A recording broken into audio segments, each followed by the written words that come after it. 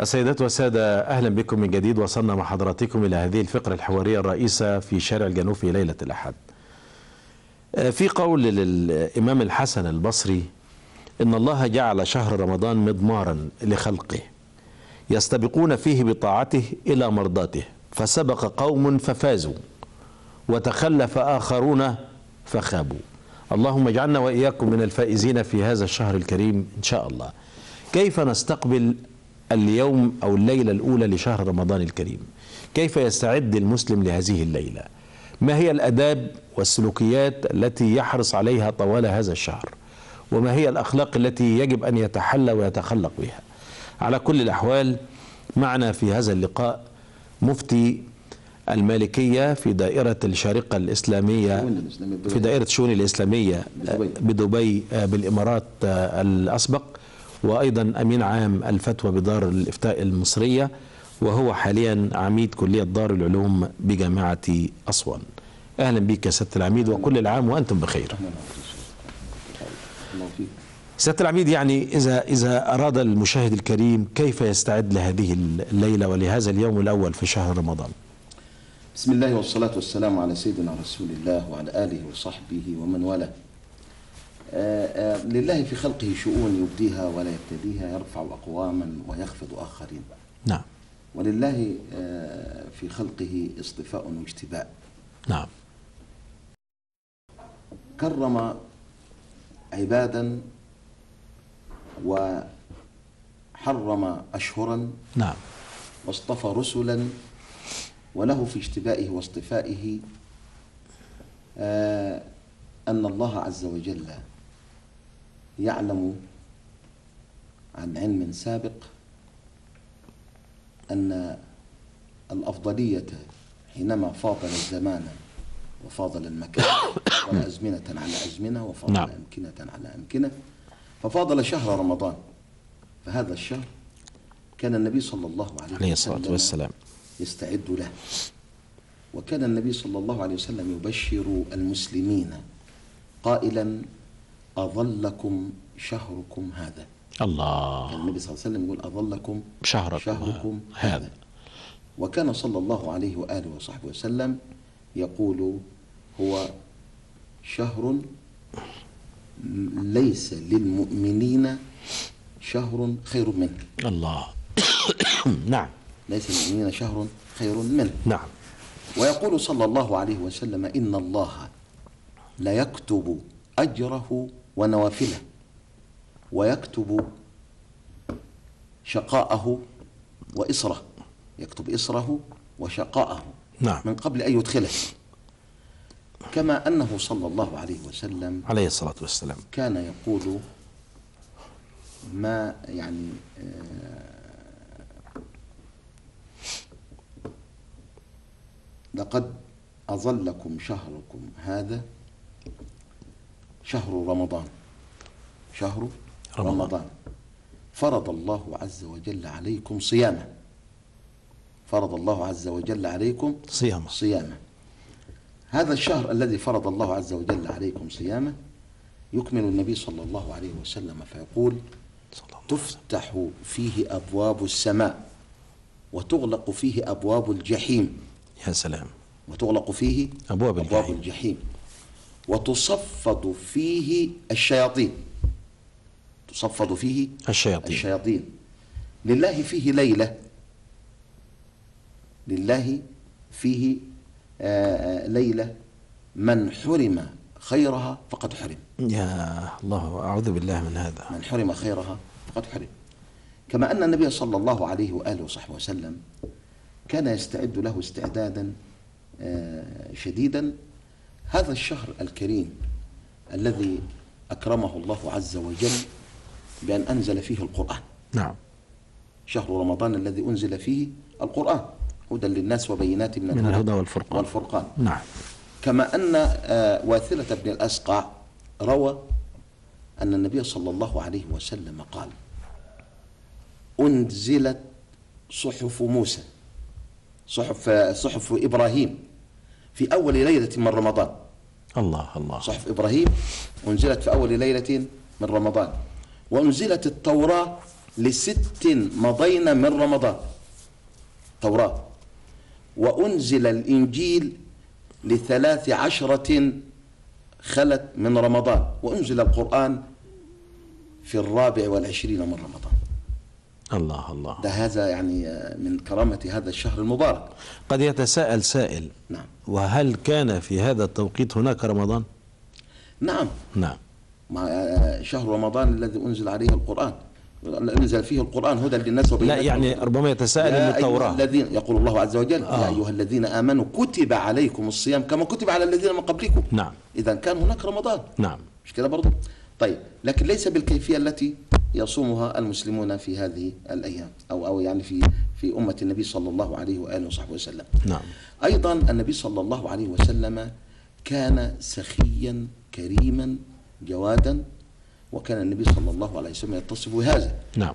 لكن لو رأيت إلى الحديث الذي رواه النبي صلى الله الذي آه، قاله النبي صلى الله عليه وآله وصحبه وسلم ورواه أبو هريرة آه، النبي صلى الله عليه وسلم فعن ابن عباس رضي الله عنهما أن رسول الله صلى الله عليه وسلم كان أجود الناس. الله صلى الله عليه وسلم. أجود ما يكون في رمضان حين يلقاه جبريل وكان يلقاه في كل ليلة. فيدارسه من رمضان فيدارسه القرآن. فلا رسول الله صلى الله عليه وسلم أجود بالخير من الريح المرسلة. نعم. ده من حضرة النبي صلى الله صلى الله عليه عليه وسلم. وسلم. طيب الاستعداد لشهر رمضان. كيف نستعد لشهر رمضان؟ نعم. نستعد لشهر رمضان بثلاثة أمور. التخلي والتحلي والتجلي. نعم. التخلي أن أتخلى عن؟ أن- آه. أتخلى عن الرذائل نعم. والموبقات. الإنسان يكون قد اعتاد عن اعتاد على رذائل وموبقات وأخطاء وسيئات آه، وعادات سيئة. كان يقترفها فعليه أن يتخلى عنها تماما. نعم. كان عاقا لوالديه عليه أن يبر كان يقترف ال- ال- الموبقات والخطايا والذنوب والآثام عليه أن يعود إلى الله عز وجل. نعم. آه، كان يكتسب المال من الحرام عليه أن آه، يعني يصفي آه، جيبه من المال الحرام وينقي نفسه من الشائبة التي تشوبه في كسب المال الحرام. نعم. أيضا إذا كان الإنسان يعني يتثاقل في أداء عمله عليه أن يراعي ذلك جيدا. وأنه لا محالة مستوقف ومسؤول بين يدي الله عز وجل يسأله عن هذا العمل الذي تعاقد مع أي مؤسسة فيه. نعم. تمام؟ أن يؤدي عمله على الوجه المطلوب. آه، زي كما يعني هنشوف يعني كيف آه، يصنع بعض الناس في شهر رمضان. نعم. أيضا آه، التحلي أن يتحلى بالفضائل. نعم.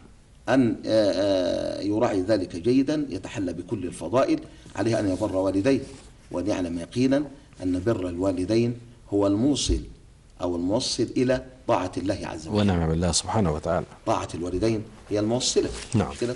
طيب عاق لوالديه ولو صلى وصام حتى صار جسده مثل الوبر ومات ووالداه غضبانان عليه لقي الله عز وجل وهو عليه غضبان. لا إله إلا الله. ولذلك آه، لما ذهب الرجل إلى النبي صلى الله عليه وآله وصحبه وسلم وقال يا رسول الله إني أشتهي الجهاد ولا أقدر عليه. قال من بقي من والديك؟ قال أمي. قال الزم قدميها فثم الجنة. يا سلام. يعني هم المسألة هنا العبادة. فكان النبي صلى الله عليه وسلم يحث على ذلك والسنة تحث على ذلك والشرع يحث على ذلك. أيضا آه، ده هذه التحل التحل التجلي. فإذا ما تخلى ثم تحلى يتجلى الله عز وجل عليه بالقبول. الله. يقبل الله. الله عز وجل أعماله ويقبل أفعاله شريطة أن تكون خالصة لله عز وجل. ونعم أن. يقبل على الله عز وجل حسن إقبال.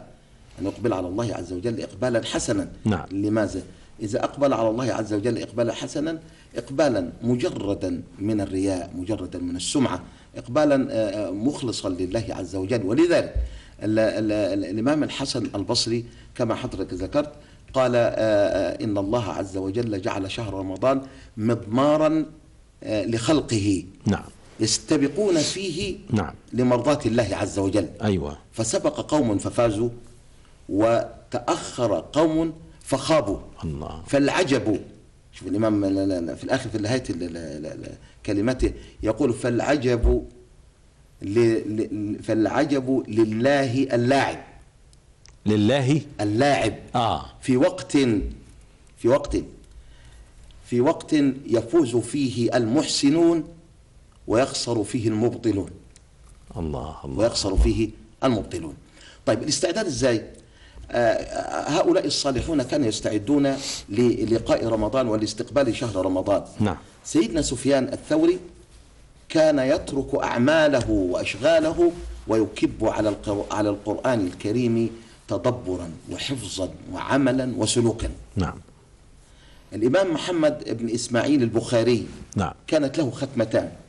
ختمة في النهار في كل يوم في كل نهار من من يوم من أيام رمضان يختم فيها القرآن الكريم. وختمة كل ثلاث ليال في آه، صلاة التراويح. الله في الله. صلاة إيه؟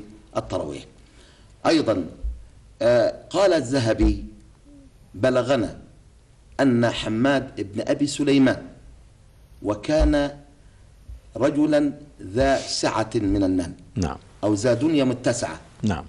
كان يطعم في اليوم. في كل يوم من أيام كان في الأمر. كان يطعم في شهر رمضان 500 إنسان. يعني كل يوم كده يطعم يطعم 500 500 إنسان. يا سلام. ثم بعد ذلك يعطي مئة درهم لكل واحد منهم بعد العيد. كل واحد من هؤلاء يعطيه مئة درهم بعد العيد. أيضا هؤلاء العلماء عرفوا طريق الله عز وجل واستقبلوا هذا الشهر استقبالا فيه بشاشة. ليس استقبالا فيه ضجر استقبالا فيه بشاشة آه، لو لاحظت أن أن أن أن الصحابة الأجلاء وكانوا مع النبي صلى الله عليه وسلم وكانت الغزوات كلها فين؟ الغزوات كانت كلها في شهر رمضان. نعم. غزوة بدر. وحطين كانت في في- المعارك حطين كانت في رمضان. انتصار المسلمين في الأندلس كانت في رمضان. مش كده برضو؟ نعم. طيب كل الانتصارات كانت فين؟ في رمضان فكانوا يستقبلونه استقبالا حسنا حتى أنهم كان الله عز وجل يفتح عليهم فتحا شديدا في آه لماذا؟ لأنهم أحبوا هذا الشهر الله الله الله ولحبهم لهذا الشهر الله عز وجل أكرمهم نعم ومنحهم وفضلهم نعم طيب فضيلة الأستاذ الدكتور محمد أبو الشيخ عميد كلية دار العلوم بجامعة أسوان ما هو فضل القرآن في هذا الشهر الكريم؟ فضل القرآن في هذا الشهر الكريم أن الله عز وجل أنزله في هذا الشهر الكريم. نعم. وأن الله عز وجل إذا ما أق- إذا ما أكب الإنسان على قراءة القرآن الكريم الله عز وجل يفتح له كل المغاليق. يفتح له كل في الحديث القدسي. الجليل يقول الله عز وجل. النبي صلى الله عليه وسلم يروي لنا هذا الحديث الجليل من شغله القرآن عن مسألة أعطيته أفضل ما أعطي السائلين. الله. وإن فضل كلام الله على سائر الكلام كفضل كفضل الله على خلقه. نعم. مش كده؟ نعم. كفضل الله على خلقه. فهنا الإنسان إذا ما شغل قلبه ولسانه وذكره وفكره وخاطره بتلاوة القرآن الكريم الله عز وجل يمنحه. ولذلك آه، من شغله القرآن عن مسألة أعطيت أفضل ما أعطي السائلين. وإن فضل كلام الله على سائر الكلام كفضل الله على خلقه ونعم بالله مش كده برضه لا؟ طبعا طبعا طيب هذا هو إيه؟ هذا هو القرآن الكريم. ال- هؤلاء الصالحون الذين ذكرت بعضا أو طرفا منهم آه، حينما كانوا يكبون على قراءة القرآن الكريم لولا أنهم عرفوا الفضل ما صنعوا ذلك، نعم لما صنعوا ذلك.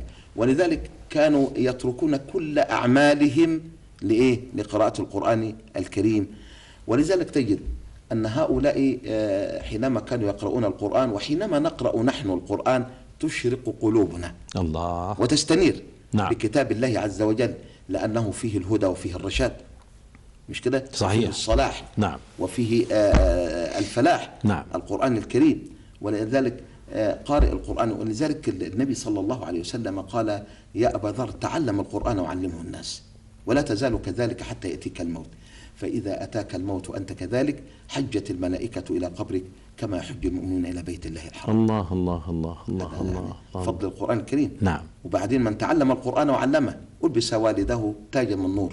نعم. ويكسى والداه حلتين. لا تقوم بهما الدنيا. طبعا. خيركم من تعلم القرآن. فيقولان. بما كسينا هذا فيقال بأخذ ولدكما القرآن الكريم. فخيركما من تعلم القرآن وعلمه. الله. طيب فضيلة الأستاذ الدكتور محمد أبو الشيخ آه، عميد كلية دار العلوم بجامعة أسوان لو تحدثنا عن فضل الدعاء. فضل الدعاء الله عز وجل يفتح أبواب السماء على مصراعيها. نعم. لي- ليدعو الإنسان. طيب الدعاء ده معنى إيه فضله؟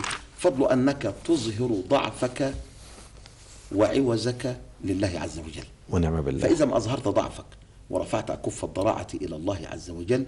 الله عز وجل يفتح لك أبواب السماء على مصراعيها نعم. طيب فضل الدعاء. كيف تدعو؟ لكن فضل الدعاء ده مرتبط ومرتهن بأمور. نعم. ما هي الأمور التي يرتهن التي يشترط فيها أطب مطعمك. أطب مطعمك تكن مستجاب الدعوة. نعم. أكل مطعمك أطب مطعمك تكن مستجاب الدعوة. الإنسان يرفع كف الضراعة إلى الله عز وجل ومطعمه حرام. صحيح. وملبسه حرام. ومأكله حرام فأنا يستجاب له. فأنا يستجاب له. ولذلك ورد أن سيدنا ابن دقيق العيد آه. وكان عالما زاهدا صوفيا أصوليا ورعا قيل أنه في يوم من الأيام كان يلقي درسه فتلعثم لسانه بكلمة. فذهب إلى أمه يا أمة أخبريني عن حالي. هل اقترفت ذنبا؟ هل أكلت حراما؟ قالت أبدا. هل اقترفت ذنبا أو أكلت حراما؟ قالت لا. ثم بعد ذلك قالت أكلت لقمة من حرام ثم أرضعت. قال هي هي. الله. قال هي هي. إذا الدعاء شرطه أن تكون آه متذللا لله. أن تظهر آه، أن تظهر عجزك وضعفك وعوزك وعوزك لله عز وجل. ونعم بالله. طبعا. آه الدعاء ده يحتاج. طيب الدعاء متى يكون الدعاء؟ يكون الدعاء في أوقات السحر حينما تقوم بين يدي الله عز وجل حتى يكسوك الله عز وجل بنور من أنواره. الإمام الحسن البصري قالوا له ما بالنا ما بال المتهجدين من أحسن الناس وجوها. نعم. قال لأنهم قاموا بين يدي الله فكساهم الله بحلة من حلله. الله الله الله. نختتم فضيلة الدكتور آه، بدعاء سريع وقصير في هذه الليلة المباركة. اللهم إنا نسألك ونرجوك يا أرحم الراحمين ويا اكرم الأكرمين. بحق اسمك الأعظم وبحق نبيك الله بحق عليه أسمائك الحسنى. بحق أسمائك التي دعاك بها أنبيائك وأنبياؤك فأجبتهم أن تصلي وتسلم وتبارك على سيدنا وحبيبنا محمد. صلاة تفرج بها كروبنا وتيسر بها أمورنا وتحقق بها آمالنا وتنصر بها إخواننا في كل مكان اللهم إنا نسألك يا أرحم الراحمين ويا أكرم الأكرمين اللهم يا رب النبي عطف علينا قلب النبي صلى الله اللهم. ارزقنا شفاعته رب. وأوردنا حوضه واسقنا. بيده الشريفة شربة هنيئة لا نظمأ بعدها أبدا اللهم إنا نسألك يا أرحم الراحمين أن تنصر الإسلام والمسلمين أما اللهم كما نصرت نبيك فانصر أمته وكما أزرت نبيك فأزر أمته. اللهم سلم سلمنا إلى رمضان وسلم رمضان لنا وتسلمه منا متقبلا يا أرحم الراحمين. وصلى الله على سيدنا محمد وعلى آله وصحبه وسلم. آمين. فضيلة الأستاذ الدكتور محمد أبو الشيخ عميد كلية دار العلوم بجامعة أسوان. شكرا فضيلة العميد وأتمنى لك كل الخير وكل الصحة وكل عام وأنتم بخير. طيب حبيبي وصحبه السلام الله خير. السيدات والسادة في الختام أتقدم لحضراتكم بخلص التحية والتقدير على حسن المتابعة وأشكر حضراتكم وأتقدم لكم مرة أخرى بالتهنئة بمناسبة آه، بدء آه، شهر رمضان. أعاد الله عليكم هذه الأيام الطيبات باليمن والخير والبركات. وأيضا آه، سيبدأ أيضا من حسن الطالع الصوم الكبير للأخوة الأقباط ويتزامن الصومان في وقت واحد. ندعو الله أن تكون مصر دائما في محبة وسلام. هذه تحياتي والسلام عليكم ورحمة الله وبركاته وكل العام وأنتم بخير.